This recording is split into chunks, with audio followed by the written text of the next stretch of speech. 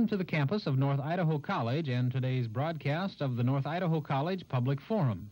The crew is comprised of North Idaho College television students. Your moderator is North Idaho College political scientist Tony Stewart.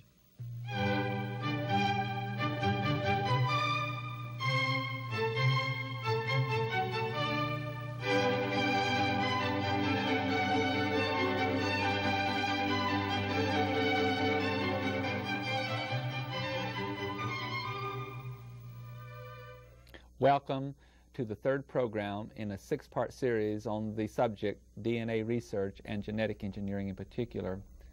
For you who are with us over the past two weeks, we dealt with the ethical questions that arise from genetic engineering and DNA research. I hope that we left a lot of thoughts with you uh, to consider. Today, and again next week, we're very fortunate to have with us a guest that will deal with the public policy questions that arise from this very important topic. What kind of public policy, if any, should we have? And what level of government should deal with this very important question? In order to accomplish that goal uh, for our staff and our institution, we wish to welcome to the program Dr. Robert H. Blank, who is the chairman of the Department of Political Science at the University of Idaho in Moscow. Our guest holds a baccalaureate degree from Purdue University and a master's degree and PhD degree from the University of Maryland, receiving his doctorate in 1971.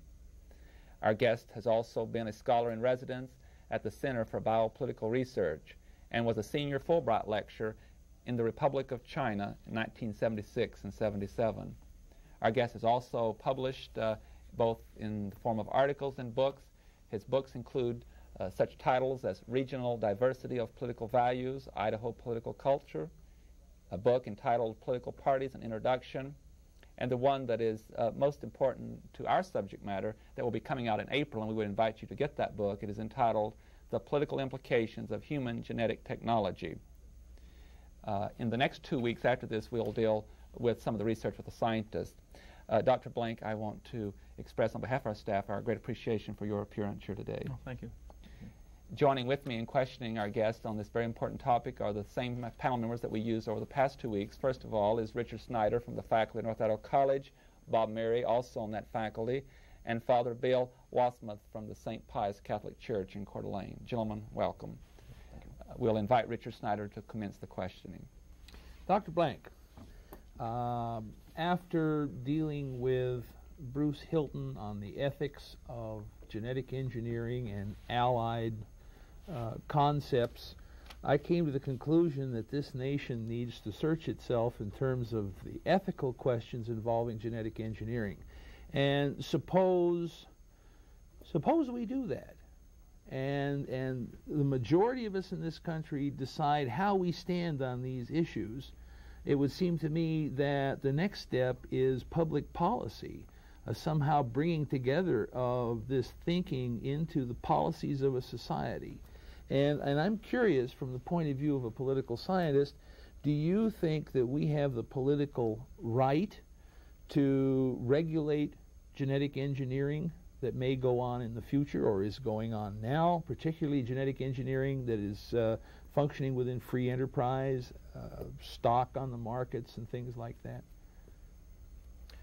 Um, I don't know if we have a right uh, to do this. I think uh, one of the problems that arises is that much of the technology that I would include in genetic engineering, which would be much broader than, say, recombinant DNA research, um, has already been funded by the federal government at one stage or another. And I think at that stage that it becomes the responsibility of the decision makers to decide if the, if the public funds or the public monies are being spent in a way that, that would be acceptable not only to a majority of the citizens, but um, to a, I suppose, a, um, a broader, uh, or at least reflect the broader values, the broader ethical framework uh, of those citizens. I, I think that um, the government will have a very difficult time doing this, however, because of the nature of the political issues that arise from it, the, the, the controversial nature of these issues. But, but I do think that the government has not only a right uh, to, to, become involved, but a duty to become involved or a responsibility to its citizens to, to uh, to educate them and to, to make them aware of what's happening. Now, if those citizens then decide through their representatives that they would rather not know what's happening, I suppose that's up to them. But could, could I pursue this just a little sure. farther then? Uh, in your own mind, do you have uh, any particular institutions within our culture that you think would be ripe for dealing with this process? Uh, you've expressed elsewhere that perhaps the United States Congress is not structured in a way that could really deal with some of these issues. Uh, where do you see the, the kinds of uh, small controls and concerns coming from? Uh, well, certainly there isn't any one body that's going to, to be able to supply all of the public policy uh, decisions in this area.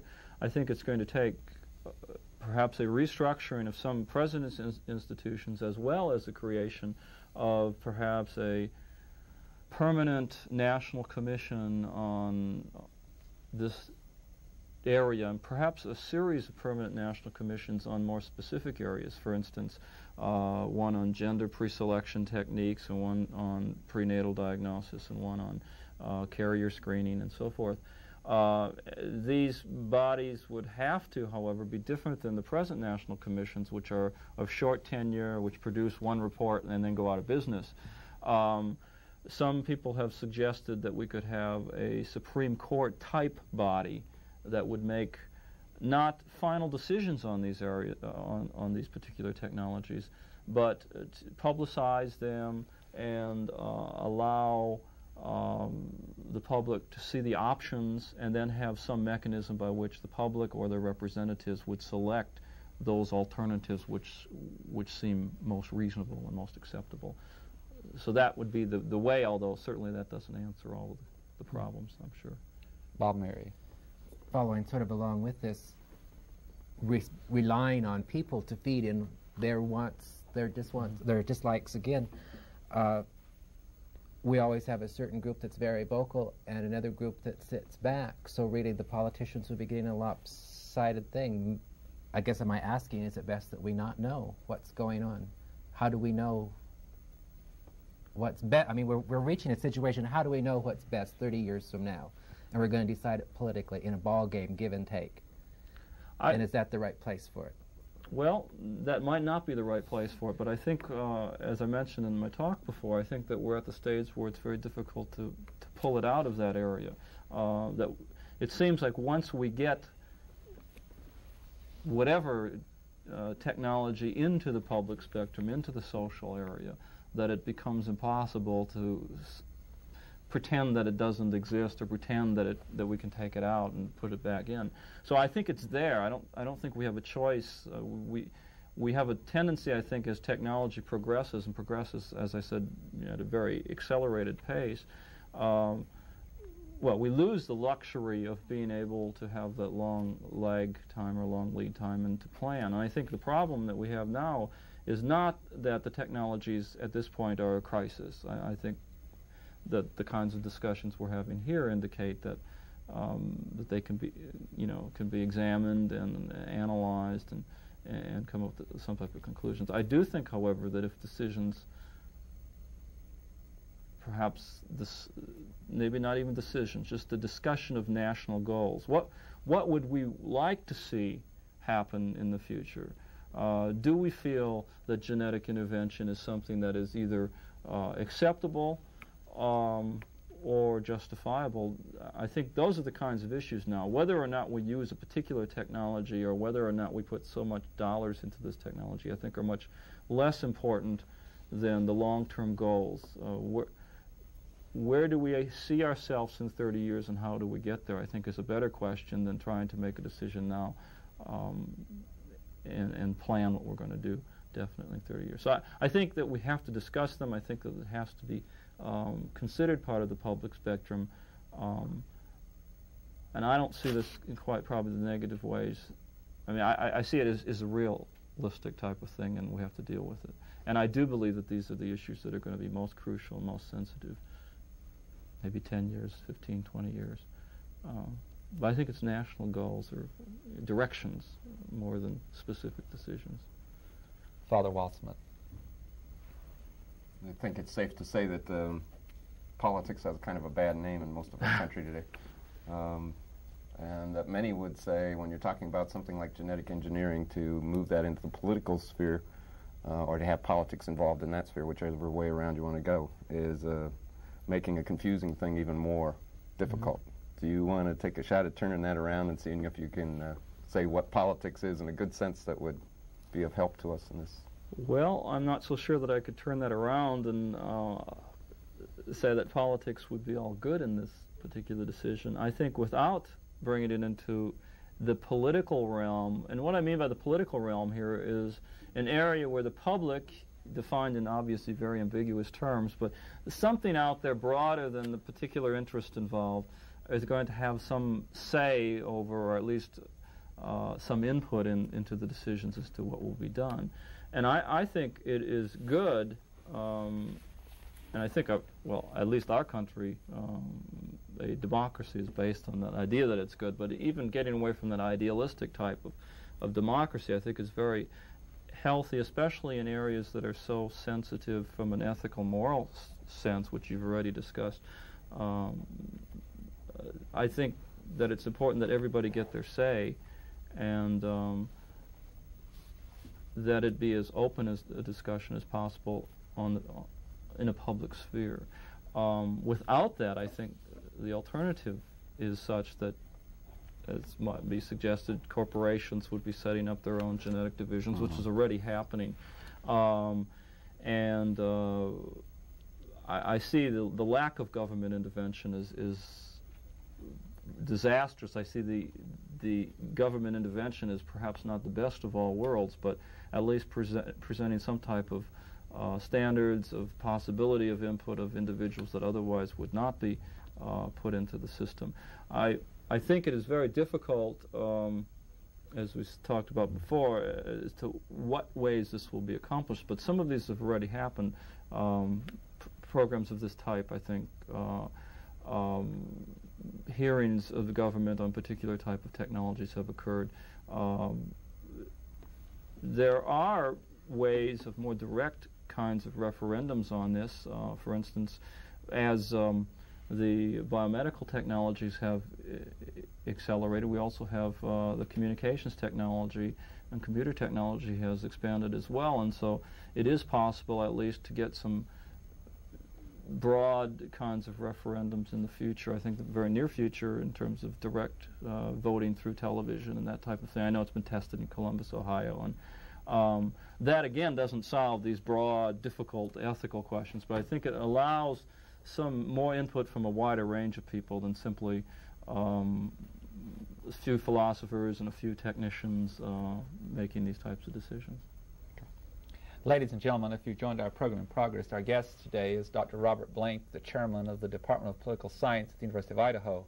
This week and next week, he's discussing with us the public policy issues that come out of DNA research and genetic engineering.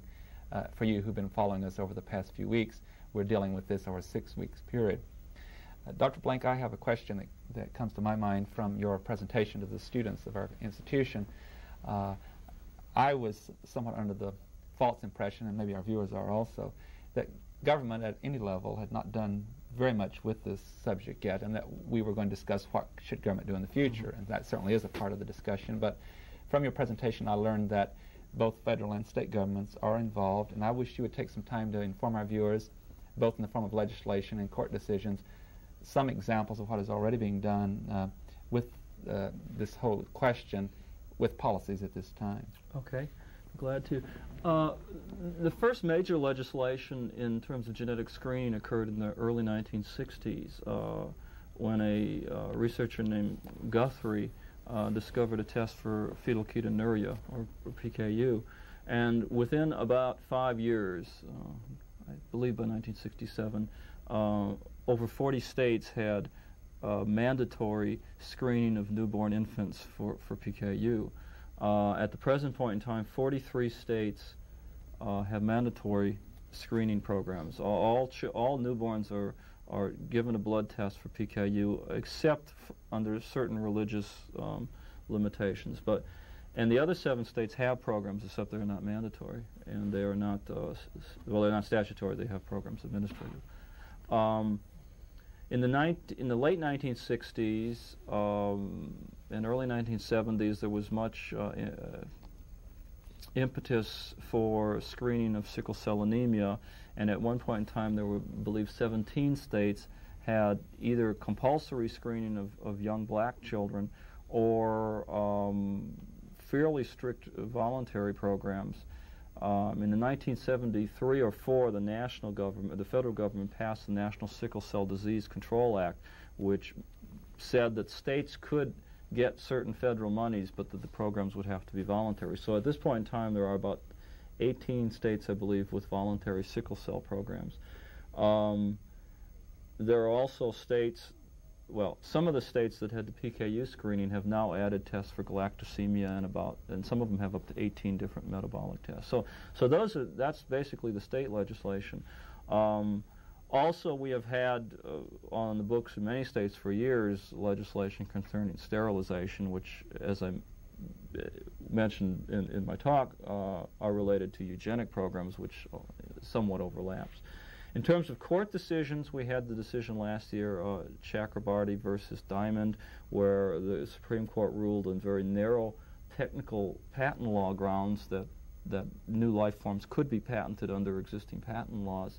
However, the Supreme Court at that time suggested that Congress should um, look into the moral uh, implications of uh, creation of new life forms. But so the Supreme Court ruled then that patents could could be taken. And what that resulted in was um, a, a, creation of a whole series of new uh, genetic corporations. Genentech uh, was the first, and I think they've been followed by uh, Bioscience and Biogen, and a whole series of corporations have been formed. And also, several of the large co uh, corporations in the United States have formed their own genetic. Uh, I don't know if they call them divisions yet, but they have their own geneticists coming in. Um, there have been other Supreme Court decisions related to uh, uh, life-death matters. The Roe versus Wade on abortion certainly has great implications for prenatal diagnosis. Um, there was a decision just recently in California, Curlender versus Bioscience, that the appeals court in California suggested that um, that children could sue uh, physicians for, for injuries that they sustained prior to being born. Um, up until that point in time, the court didn't allow that. So those types of decisions, although they don't directly involve um, genetic technology, have great implications for the use of genetic technology. And there have been others, but I think those are the major ones. Thank you. Richard Snyder. Dr. Blank, what about surrogate mothers? Uh, what are the the legal and political problems surrounding um, the surrogate mother, one woman carrying the child of two other people, and then at termination, handing the child back. Well, uh, the, the, legal implications, as you mentioned, are, are quite complex because the possibility of combinations are, are unlimited, especially with in vitro fertilization where you could have the egg of the natural mother combined with the sperm of a donor and implanted in the womb of a surrogate mother, and you have a whole series of legal questions there. Or you could have the egg of one a donor and the sperm of another donor implanted in, the, in another woman, and then provide a surrogate mother provided uh, uh, for the people who are paying for it. And so you run into a whole series of uh, legal questions on contracts because most of this will be done by contracts. But there are there are more questions. For instance, if uh, a surrogate mother is carrying your child, you probably would be done for pay. I can't imagine that you know this would be the kind of thing that would be done without. But say it's done for pay, the contract would probably be written up. Now, can that surrogate mother you know have a drink or, or smoke or could that be written into the contract? I suppose that could all be written in. There's the whole uh, aspect there. What if the baby is born with some kind of genetic defect? Then whose responsibility and uh, what happened under those circumstances also is, is a legal question. I think the moral questions are, are perhaps even more interesting uh, in terms of, uh, you know, this possibility of creating a class, or I guess moral social question, creating a class of surrogate mothers to carry children for women who would otherwise simply not want to for convenience sake. And um, there have been some suggestions that a distinction be made between women who could not, because of physiological reasons, carry a child versus those who simply don't want to for career or convenience purposes, but I don't think that's practical. Um, what it amounts to is a, is a, is a very, very sticky legal, moral, and social question uh, coming out of the technologies that have you know, been derived from artificial insemination and vitro fertilization. Um, and it, a surrogate mother now uh, is is a reality. In fact, there have been you know quite a few articles written coming from the or coming from the artificial insemination. Um, the question of what happens if that if the surrogate mother decides later to keep the child, I think is a, is a, the psychological mm-hmm. kinds of questions that arise are very difficult. But the combinations now, there is no biological reason, as I understand, uh, at least that, that I've heard, why the egg of a woman um, implanted in another woman wouldn't, you know, whether there be any difference where that egg is implanted. So biologically, there's probably not a difference, but socially and legally and uh, ethically, there certainly is. I think it's a, a very major area of concern. Bob Murray. May I ask, who legally is the mother under the law of this child, the one who gives birth or the one who provides the egg?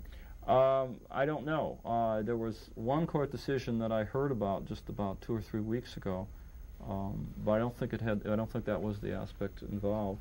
Um, I do know that the California is the only state where the the donor of sperm in artificial insemination cannot be sued uh, as the natural father. In other words, in most of the states, even that is ambiguous as to what responsibility the, the donor of sperm from a sperm bank or wherever else has.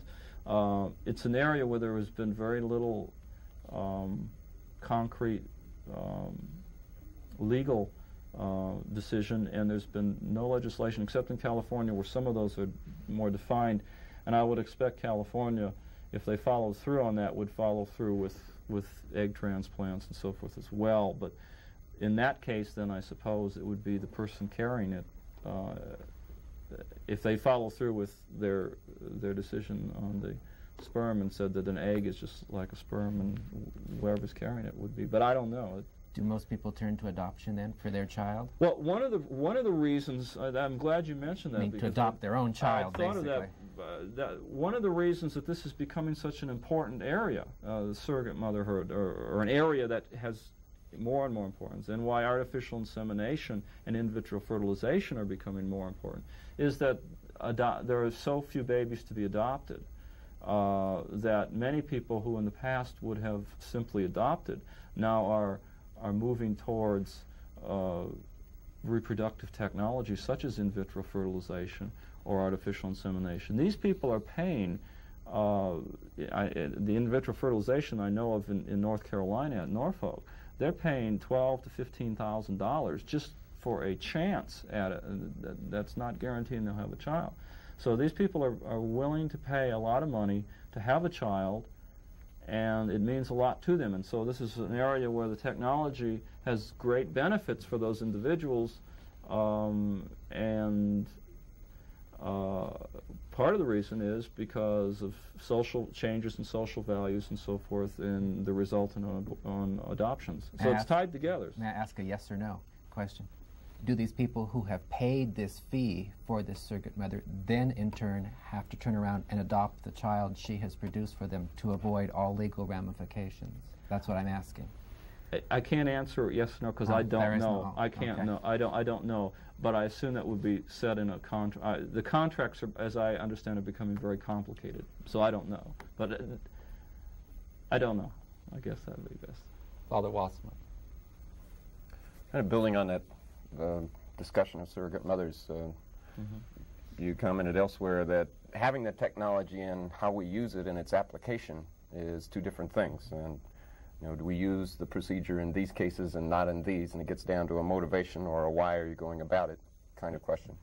Seems to me that public uh, political realm is not very successful in dealing with the motivation question on any fronts.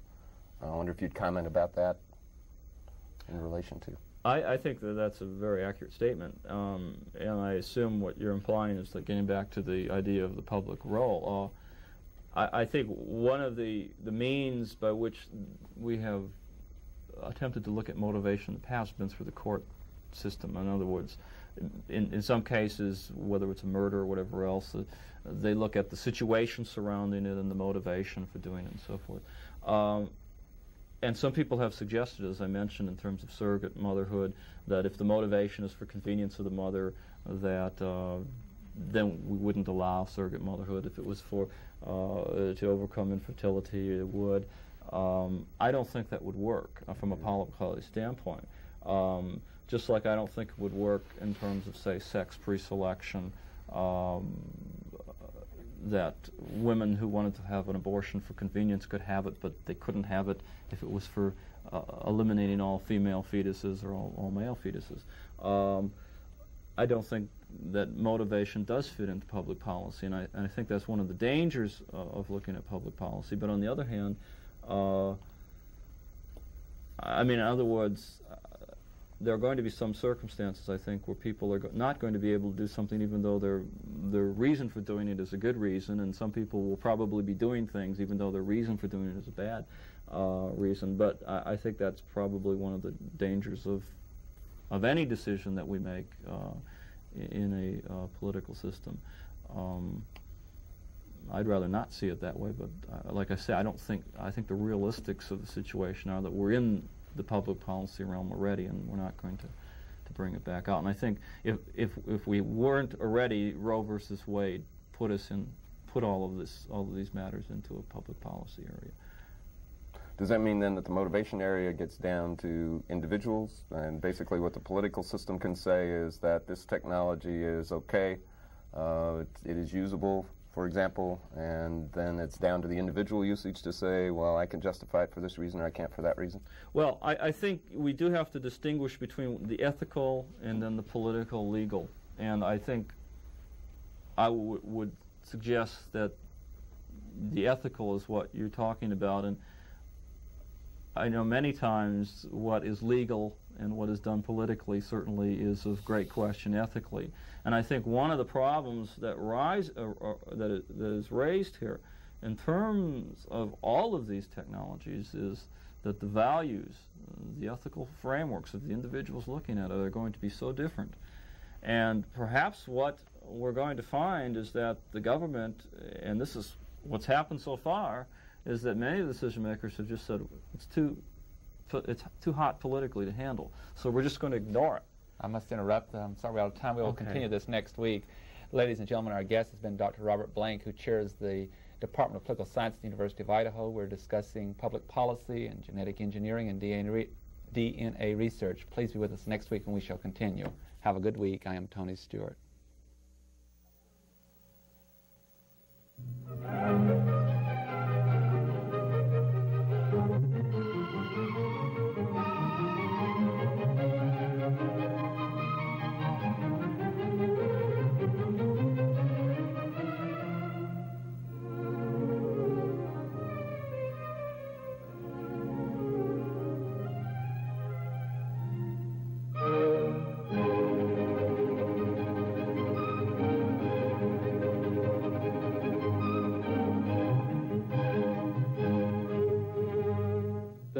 Idaho College Public Forum can be seen at this same time each week over this station. This production was videotaped earlier by a North Idaho College student crew for viewing at this more appropriate time.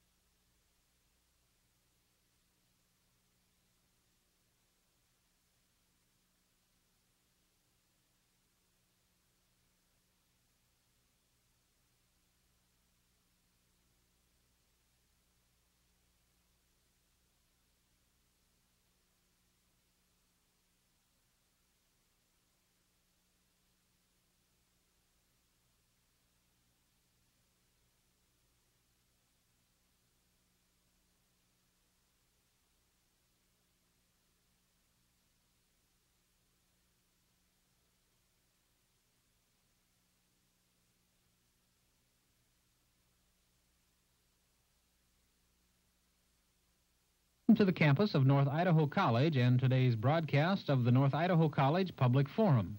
The crew is comprised of North Idaho College television students. Your moderator is North Idaho College political scientist Tony Stewart.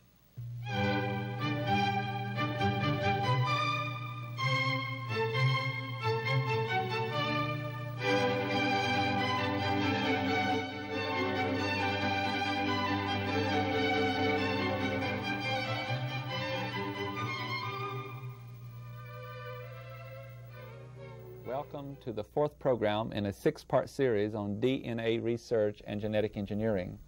For you viewers who were with us last week, you will recall that Dr. Robert H. Blank, the chairman of the Department of Political Science at the University of Idaho, is with us uh, both last week and again today. We're discussing the question of public policy and its role within this very important issue of genetic engineering and DNA research. We dealt with several questions uh, concerning what government has done up until this point, and on this program we'll deal with the future and uh, some other uh, developments that are taking place at the present time. Our guest, in addition to being chairman of the Department of Political Science at the University of Idaho, a, has been a scholar in residence at the Center for Biopolitical Research. He's been a senior Fulbright lecturer, and he's a published author. His books include uh, several, but the one that we're most interested in for this show is entitled The Political Implications of Human Genetic Technology, which will be out in April, uh, and we invite you uh, to look forward to that book. Uh, Dr. Blank, welcome back to the program. Joining with me in questioning our guest today will be the panel from last week. From the fact of North Idaho College, we have Richard Snyder in anthropology and Bob Murray in the biological sciences, and we're happy to welcome to the program the third panel member is Father Bill Wassmuth of St. Pius Catholic Church in Coeur d'Alene. Uh, Richard Snyder, you're invited to commence the questioning. Thank you. Dr. Blank, I'm an anthropologist and I have more than just a fascination with evolutionary processes. And since evolution is a change in gene frequencies in a population from one generation to the next, uh, could it not be true that through the use of genetic engineering, we could in fact be tampering with evolution? That is, in the creation of offspring, uh, either by removing deleterious genes or some form of selective factor in which we choose to uh, have boy babies rather than girl babies. We are altering the genetic composition of the next generation. And I'm curious if that next generation or succeeding generations after that have any legal claim on us. Not that they could turn around at some time in the future and sue us in our graves, but could you visualize uh, court decisions uh, acting in the best interest of future generations to stop us today from doing certain things? I haven't seen anything that I that you know even the hypothetical case that would relate directly to to your question. Um, I do I do think it raises some questions about the extent to which we ought to you know inter, interfere or intervene in, in the genetic process. Um, and there have been some suggestions, for instance, of if we do select for gender, that there's going to be seven percent more males, and that this will have a uh, you know, great implications for future generations. There have also been some suggestions that if we attempt to reduce genetic diversity, that we're setting ourselves up for some disaster down the line. So I think that from a realistic standpoint, that, that there could be uh, some some justification perhaps for that. I don't think that the way our court system works, is, which is a passive uh, system and it's also retrospective. In other words, it's it, it, it is not a system where you can sue from the future back. It, it has to be some past uh, damage uh, claim. Um, there is a set of, of um, cases, however, that relate to this and have, have more potential there, and that is the torts for wrongful life, which uh, I mentioned briefly in my talk, uh, relate to whether a child can sue a parent or sue the parents for being born with particular type of disorder. There was a case in, in Florida where the parents were sued for psychological damages, child lost. There have been cases in other states where the, the child or the child's guardian, uh, some lawyer who needed work or something, uh, sued the parents for um, for dam- for children born with congenital diseases, and they lost. Um, however, with prenatal diagnosis and with uh, the means now of uh, of identifying before birth these many diseases and disorders, it is at least theoretically possible that a parent who is sued in the future by a child for, say, being born with Down syndrome may in fact lose the case because, first of all, the damages have have been performed, and now there's the question of whether the parents knew uh, what they were, doing. Uh, in other words, if the doctor says you should have amniocentesis because you're 40 years old and the chances of Down syndrome are 1 in 35 or whatever they are, I think about that, uh, over 40. Uh, and the woman says yes, and she has it, and then they diagnose the, the fetus as having Down syndrome, but then the mother says, no, I'm not going to abort it. The courts may look at that differently, and my a fear that I would have there is that that, in fact, would, would lead to a, a very subtle but a very real eugenic type of process where, wherein parents would be making decisions on the basis of that court decision rather than.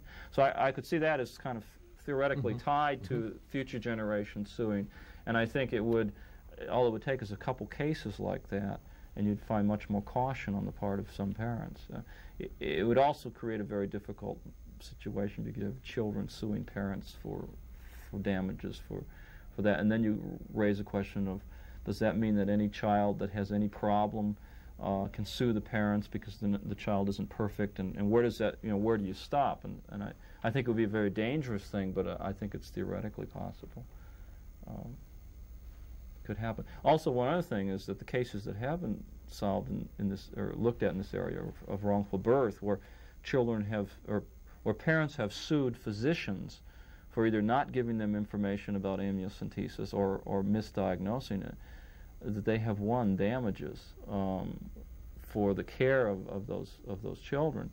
And what this has done is it has made physicians much more conscious about amniocentesis. And so it has had a much broader impact, and, these, and it has resulted in a different way of looking at prenatal diagnosis. Bob Murray. From accounts that I've read, and some from personal experience, parents who quite often have a defective child all of a sudden develop a burning desire to produce a normal child. Mm-hmm. And with genetic counseling today, quite often they can be given the odds yes. of producing the same type of defect again.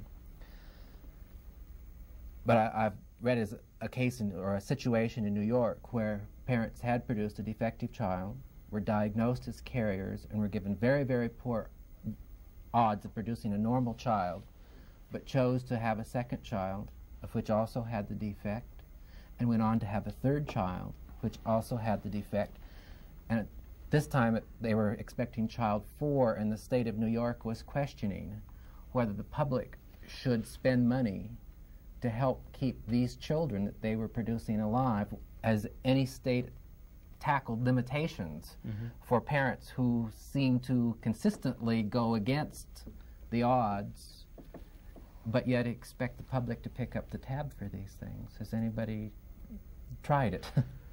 uh, uh, again, somewhat out of the area that I'm familiar with, but it certainly brings up a question of public policy. I mean, direct public policy, and also some extremely important ethical kinds of decisions.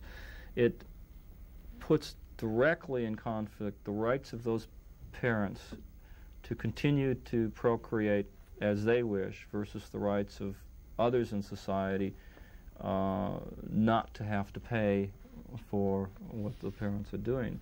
And I think that uh, given the uh, constraints on budgets and so forth, that you have to look at the rights of those parents.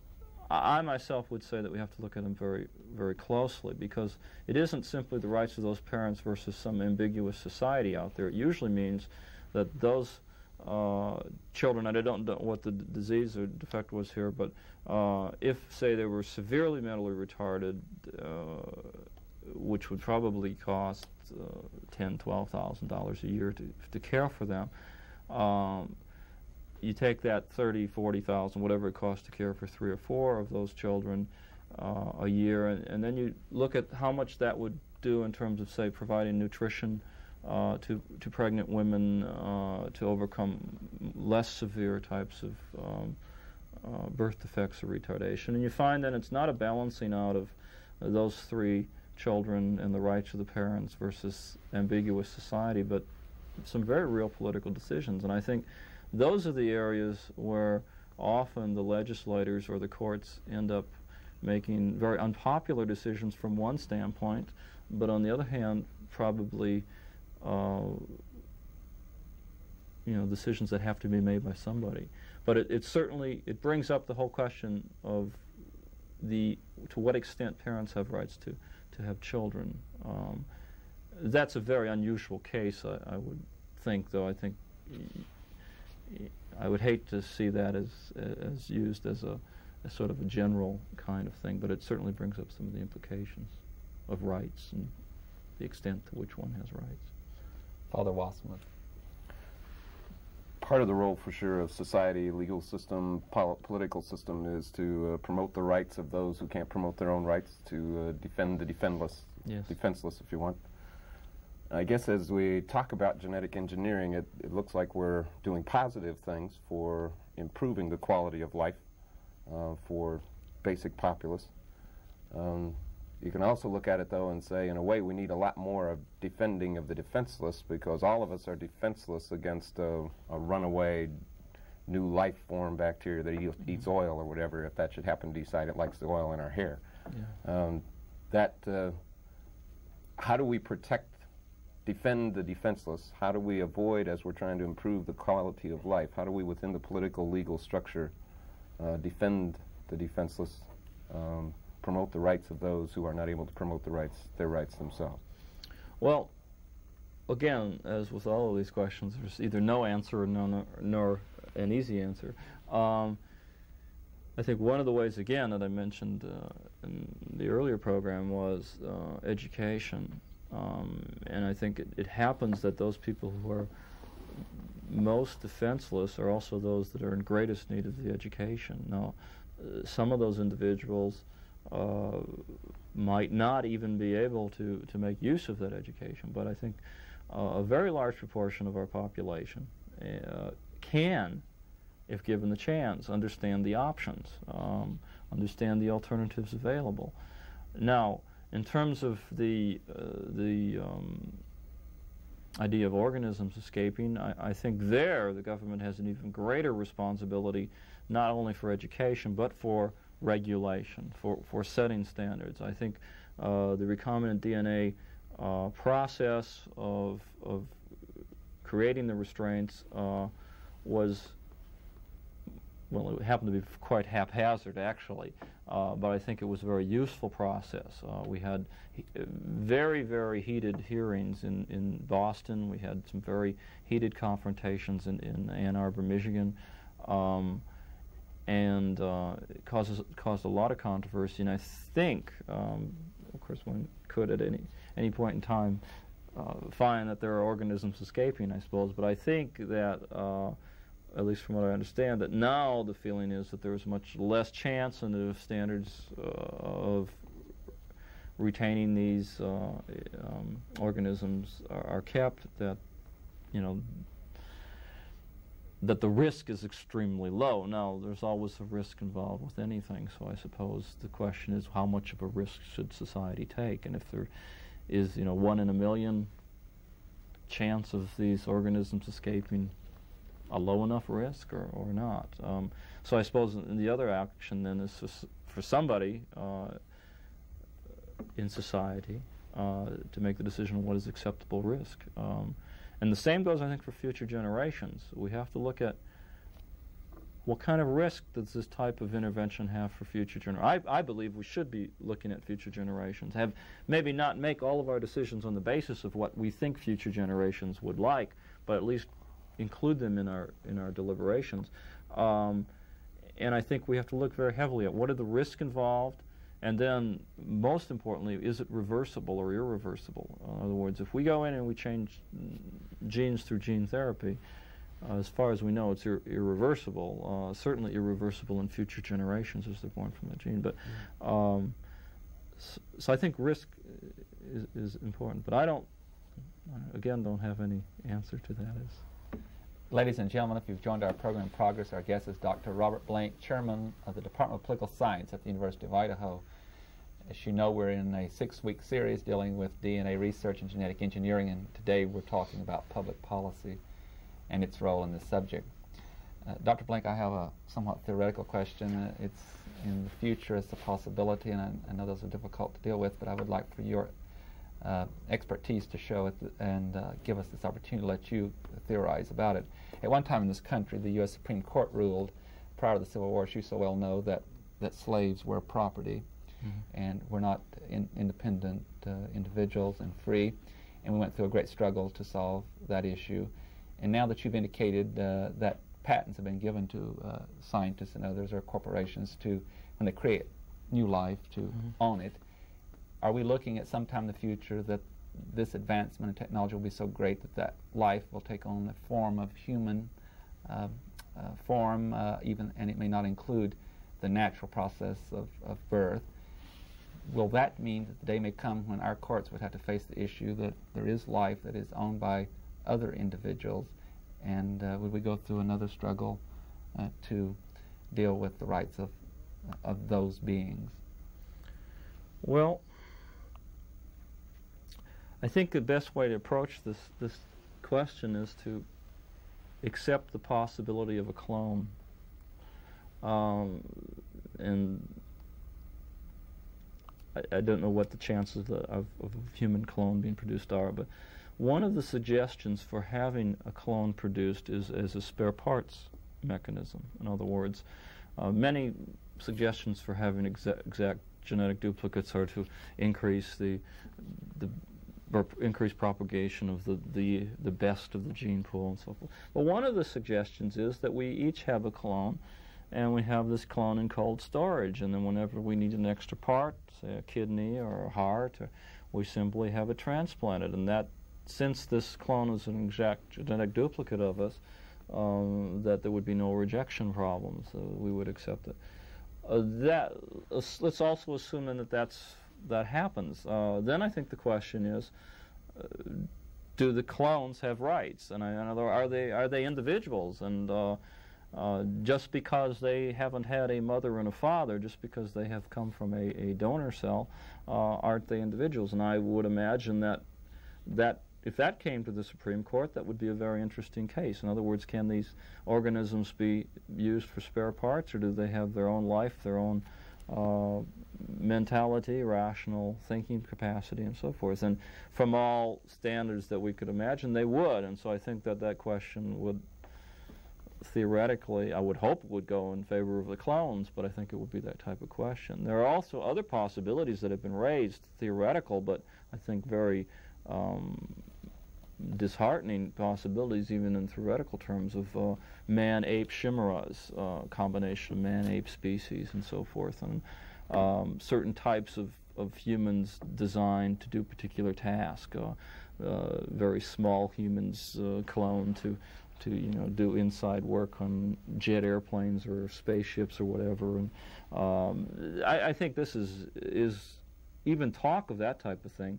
I think is what scares many people about genetic technology in general. I myself would would like to focus more on the technologies that are at hand and the applications and, and research at that level. But I, but obviously, uh, since they are ultimately tied together, and we talk about genetic intervention, um, could be sterilization, it could be artificial insemination, it could be genetic screening, and it also could be cloning or chimeras. So, so I think it, it's a real question I don't know what the court would decide. I guess would decide how many. I mean, depend on how many clones there were around. Uh, but I do think there are some very dangerous aspects of genetic engineering when we get into those areas. Uh, very dangerous. Thank you, Richard Snyder. Have any scientists been expressing views on dealing with uh, the management of genetic engineering, uh, where genetic engineering should be used, how we should use it, uh, suggestions of how genetic engineering could improve uh, the human race or uh, any species for that matter in the future. Uh, I think in other places you've mentioned people like Linus Pauling and Shockley and. Mm-hmm. Well, I did mention at least uh, I think four different Nobel Prize winners who had uh, uh, suggested various things. Paul, Linus Pauling suggesting tattoos on the heads of carriers so that they wouldn't mate, or at least they would be uh, put on caution that they're carriers and that there's a 25% chance that any child they have will have a disease. Uh, and the statement I suggested by uh, Joshua Lederberg on if we find the perfect person, we should clone them rather than leave it to sexual recombination.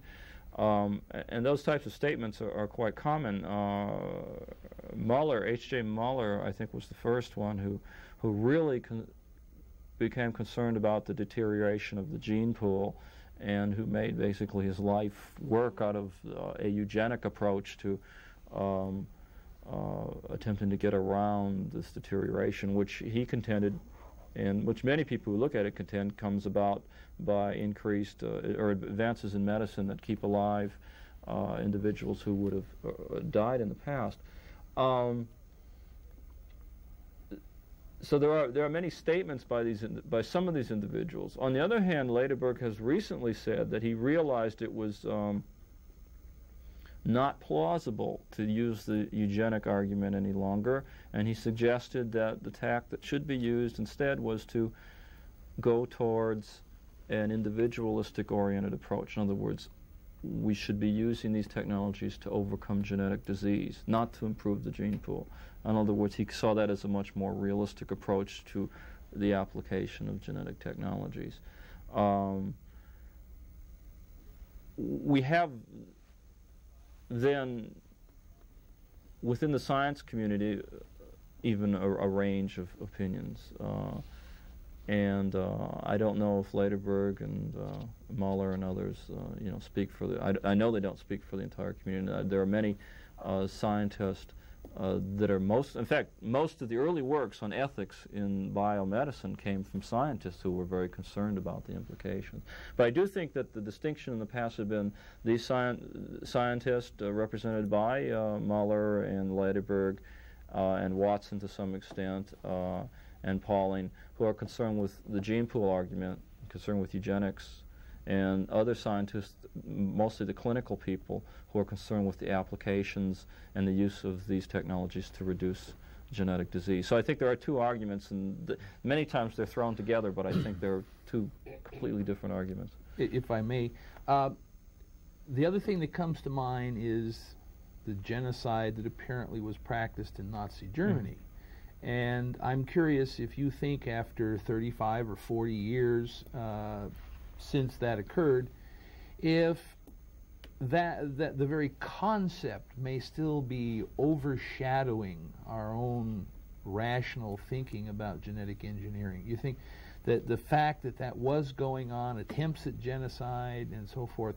might still be coloring our view to some extent and keeping us from making truly rational decisions about genetic engineering in future generations and so forth.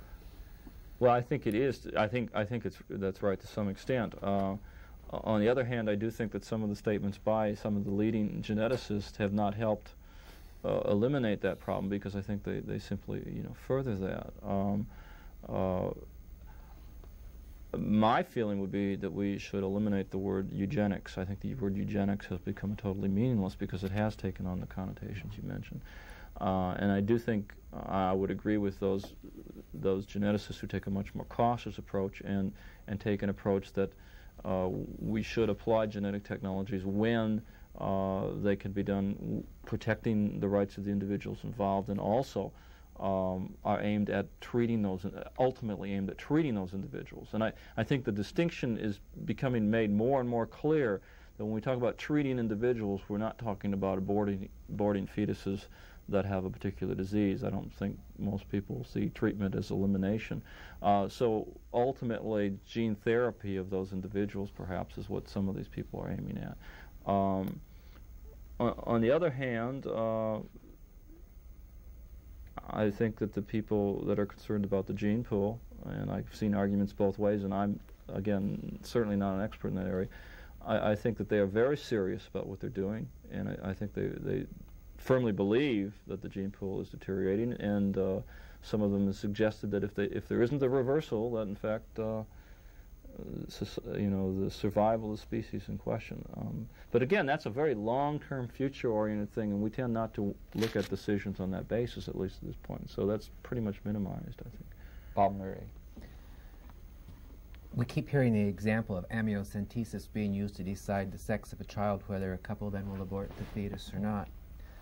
And I don't think that's, my personal view is I don't think that's justification for amniocentesis.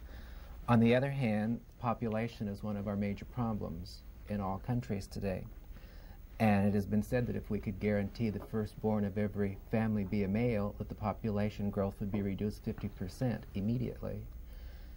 Is any political unit tackling this from this aspect. It's always been used as a bad aspect. Now, is anybody going to turn this around and use it positive, either within our political boundaries or anywhere else? As far as I know, nobody politically is touching it. Um, uh, I, I, think they're they're very afraid to get into that that area. Um, I I don't think. Like I, I, mentioned, I think in my talk that I, I don't think this is going to be a problem very long because I think there are going to be other means. I mean, I'm told at least there are going to be other means that are less intrusive to predetermined sex. Uh, certain type of diaphragms that will screen out male sperm or female sperm, or uh, they have now a centrifugal process where they, they, have to be through artificial insemination. But there are other means, I think, uh, that will come about. Um, the question on, on amniocentesis now used for that purpose is, is one that John Fletcher, for instance, came out about four years ago against it on moral grounds, and now said, well, if we have the resources and if the parents pay for it themselves, uh, that it's guaranteed under Roe versus Wade that a woman can abort for any reason and sex choice seems to be more realistic than convenience, so he agree, he changed his mind. So I don't know. It's very questionable. I must interrupt. We're out of time again. Uh, thank you, Dr. Blank. It's been a pleasure having you here this well, two thank weeks. You. Thank you very much. Ladies and gentlemen, our guest has been Dr. Robert Blank, the chairman of the Department of Political Science at the University of Idaho. We've been discussing for two weeks public policy issues as it relates to DNA research and genetic engineering. I want to take this time to also recognize the Regional Campus Ministry Board of our area that's been very good to help us financially with this uh, symposium and these uh, TV interviews. We appreciate that very much. I also want to invite you to be with us again next week and the week after that when we'll have parts five and six with Dr. Martin Cline, a scientist at UCLA who is involved in genetic uh, research, and he will be addressing uh, the question is what should he or should he not be doing in his research. Please be with us. Have a good week. I am Tony Stewart. North Idaho